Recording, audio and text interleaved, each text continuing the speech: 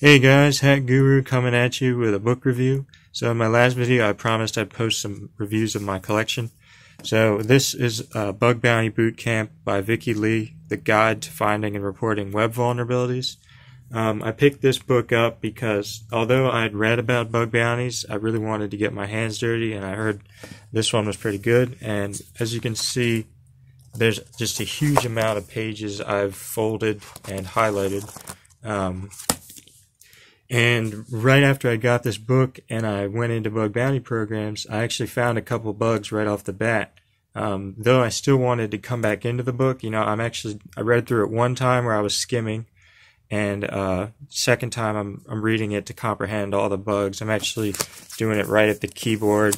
You know, I have the book next to my keyboard most of the time and I'm just going through everything the book has to offer. Um, I think it's a great title if you want to learn bug bounties, but you don't know where to start. Um, but even if you do know where to start, you can still find a bunch of tips and tricks in this book. Like there's a whole, like, I think about a third of the book, almost a third of the book is just recon. Um, and that's great because recon will determine how many, how big your scope is for finding these bugs.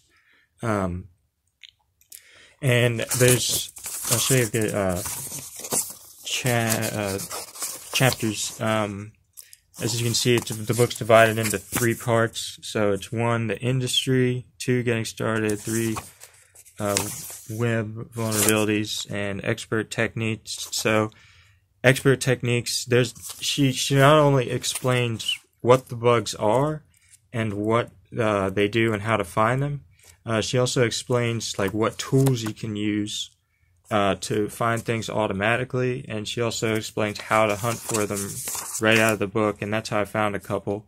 Um, so yeah, I, I really recommend this book, Bug Bounty Boot Camp, The Guide to Finding and Reporting Web Vulnerabilities. She also teaches you how to um, write the reports when you when you submit them, um, and she also goes through ways of um, bypassing protections for each bug.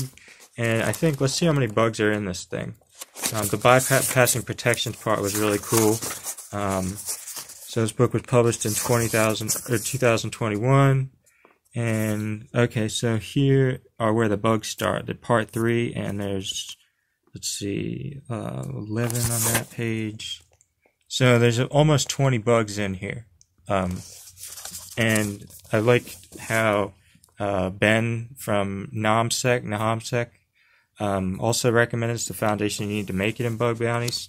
Um, and there's a bunch on recon too, because recon will determine how you um, your subdomains enumerating and the endpoints.